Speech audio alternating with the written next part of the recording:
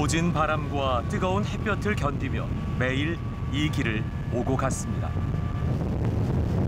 오늘은 그 결실과 마주하는 첫날입니다.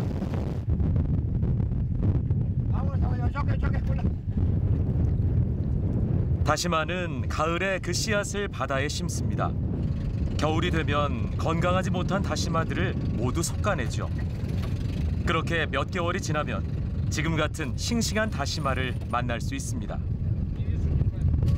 근데 이 다시마가 빛깔이 아주 좋네요. 이렇게 보니까. 예, 예, 지금 물, 여, 저, 절도 세고 그래가지고 얘가 다시마를 채적해요. 여, 한봉어. 여, 메리, 여기서. 하트, 하트. 장마가 오기 전에 다시마를 모두 건져내야 합니다. 그래서 5월 말부터 6월 말까지 딱 한 달간 수확을 하죠.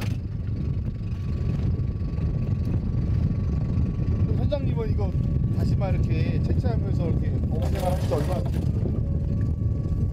제가 지금 여기서 다시마 하는 지는 지금 한 40년. 40년이요? 예. 지금 태어나서 1년 저 서울 생활 하다 보 와서는 이상은 지금 한 번도 안 나갔으니까요 지금. 이렇게 수확한 다시마로 사남매를 키워냈습니다.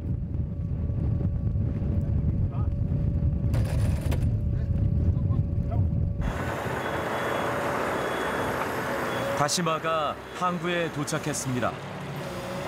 이제 건조를 해야 하는데요. 뜨거운 한낮의 햇볕을 피해야만 합니다. 다시마 진액이 나오면 제대로 건조되지 않기 때문이죠.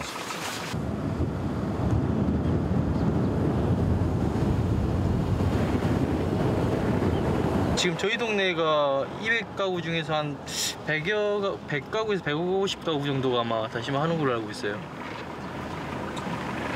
지금 대략 금일이 1,800가구 정도 되거든요. 동네가 꽤 크네요. 네. 많이 줄었죠 그래도.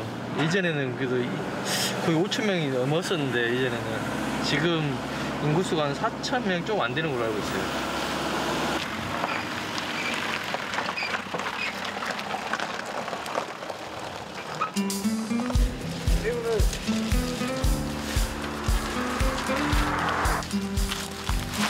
밭에 조약돌을 깔고 그물을 펼칩니다.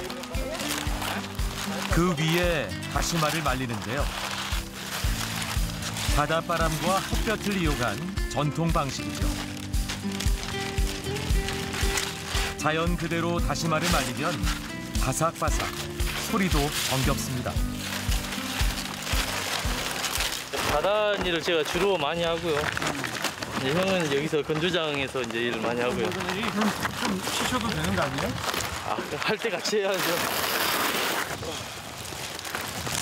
동생이 착하네요.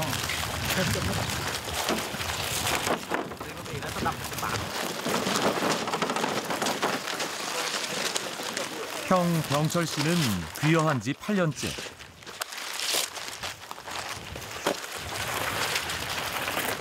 이제 제법 몸에 익어 일하는 속도가 빠릅니다.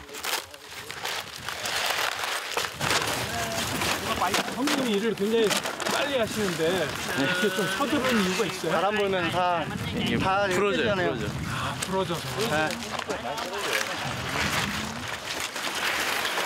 나는 서두르는